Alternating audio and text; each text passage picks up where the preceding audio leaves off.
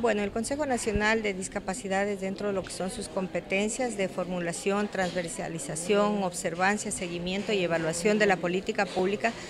ha tenido previsto para ejecutar este proyecto a nivel nacional y justamente en ese contexto estamos trabajando todos los delegados técnicos a nivel nacional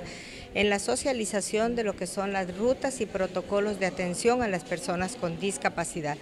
de tal manera que el objetivo fundamental de nuestra presencia acá es poder orientar a la persona con discapacidad y su familiar sobre cómo acceder a los servicios de justicia de una manera adecuada así como también el darles a conocer cuáles son las competencias de cada una de las instituciones que intervienen en este proceso y orientar a los servidores públicos para que también sean eh, parte de este proceso como elementos fundamentales en la orientación hacia las personas con discapacidad a la hora de brindar aporte en lo que es la defensa de sus derechos. ¿Cómo ve la participación?